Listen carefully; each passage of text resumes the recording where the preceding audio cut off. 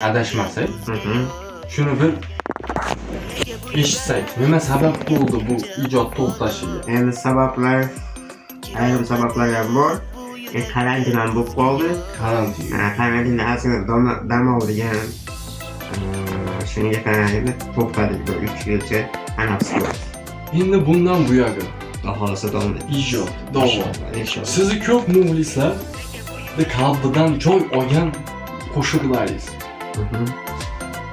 Tonmadi to'y kechasi armon bir armon ikki degan qo'shiqlaringiz bilan juda ko'p muxlislarni qalbidan joy olgan insonsiz sizga tasalli. Birinchi. Endi men o'zim to'y o'tkazmaganman, to'g'risi. Tadbirlarga ko'proq boramiz, konsertlarga.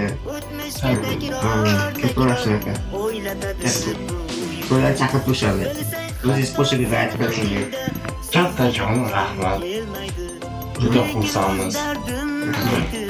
Bugun juda go'zal kun bo'ldi. Avvalambor sizga kattakon rahmat. Juda chiroyli suhbat bo'ldi. Rahmat. yana yaxshi kunlarda ko'rishaylik. Inshaalloh. ijodingizni to'xtatmang sizga omad aka